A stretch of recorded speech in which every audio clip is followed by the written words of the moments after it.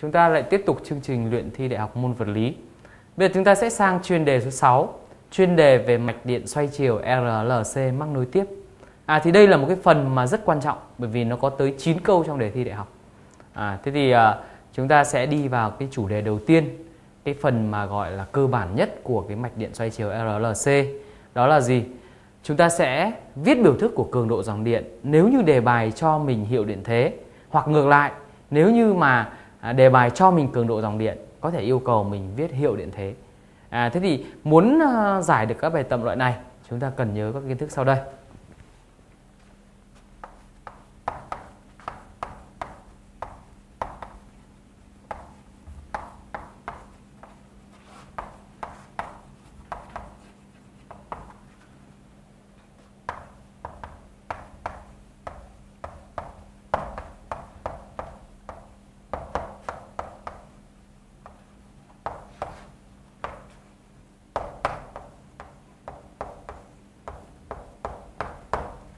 Đầu tiên, ta xét đến những cái mạch điện mà đơn giản nhất, Đó người ta gọi là mạch điện xoay chiều sơ cấp. Đầu tiên mạch là chỉ chứa điện trở thuần R. Mạch chỉ chứa điện trở thuần R. Thì mối quan hệ về U và Y như thế nào? Thì người ta thấy như này. Cái giả đồ vector thầy có thể vẽ ra Là Y luôn luôn vẽ nằm ngang chiều quay dương là ngược chiều kim đồng hồ thì người ta thấy rằng là U biến thiên điều hòa cùng tần số với lại Y.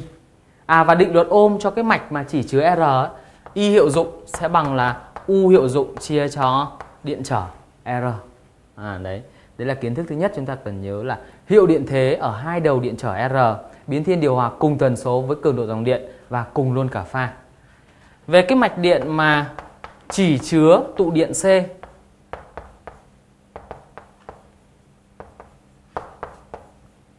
Thì người ta thấy như này.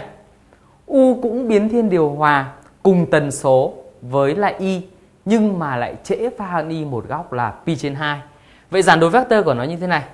Y nằm ngang, chiều quay dương, ngược chiều kim đồng hồ.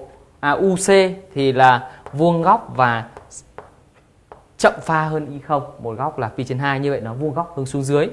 Và định luật ôm cho các đoạn mạch mà chỉ chứa tụ điện C, y nó sẽ bằng u hiệu dụng chia cho zc và với cái zc ở đây thì nó bằng là 1 trên omega c. Cái này rõ ràng chúng ta thấy vai trò của nó cũng tương tự như là điện trở, tức là có tác dụng cản trở dòng điện. Cho nên cái này người ta gọi là dung kháng của tụ điện. Dung kháng của tụ điện và đơn vị của dung kháng thì cũng giống như đơn vị của điện trở, đơn vị là ôm. Cái loại thứ ba là mạch mà chỉ chứa